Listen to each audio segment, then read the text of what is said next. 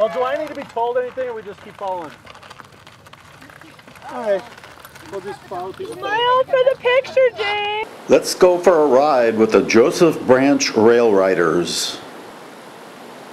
For goodness sakes, don't do this on your railroad at home. It's okay here because Wallowa County owns the tracks and it's a guided tour. The route goes six miles from Joseph to Enterprise with a turnaround there and then back to Joseph. Everybody smile. Oh, better smile. Come on, big, big. We're gonna do it broad. There we go. Now you got Okay.